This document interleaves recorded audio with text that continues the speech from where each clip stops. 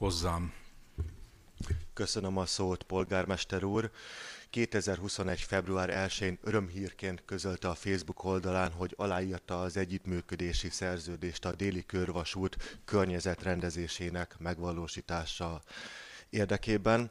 Ugye nyilván azóta eltelt három év, sok vita, tüntetés, tiltakozás, pereskedés volt, viszont nem találtam meg, hogy pontosan mikor lett ez a megállapodás vagy szerződés felmondva, és erre szeretnék választ kapni, illetve egy másolatot is erről, ha lehet. Köszönöm szépen.